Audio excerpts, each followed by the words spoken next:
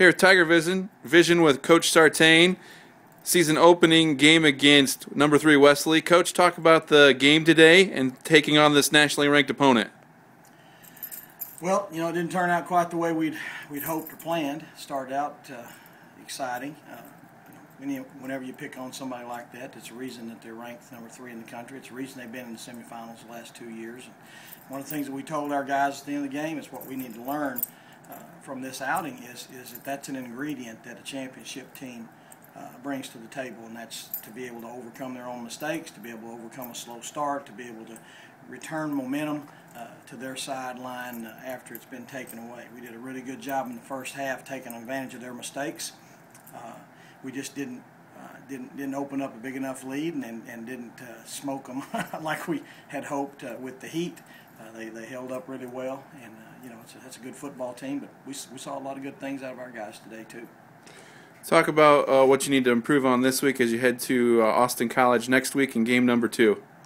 Well, you know, I think because uh, we've got some key positions that are not returners, we're, we're, still we're still somewhat searching for what we do well, what we're going to kind of hang our hat on. Uh, offensively, I thought defensively, apart from two or three, uh, you know, breakdowns in communication that allowed big plays, we did a pretty decent job of, of flying around and making plays.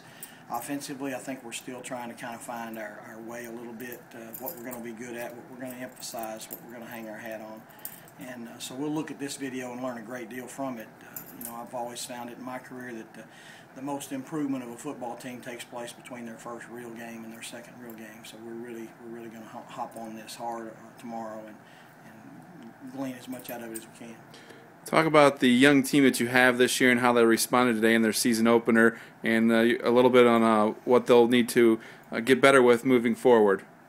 Well, learning how to win, you know, and learning how.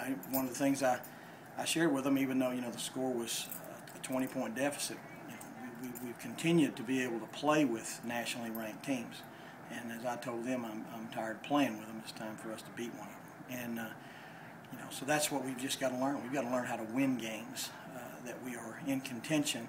Uh, we've got to learn how to impose our will on people and, and remain uh, in, in control of the situation. And uh, I think that'll come with some confidence. I think we'll, we'll emphasize the positive this week and, and uh, you know, put, the, put the negative uh, you know, to bed as far as that goes with, with, with instruction, not hammer that, but really, really find our identity and move forward with this young team. All right, Coach, thank you, and good luck next week.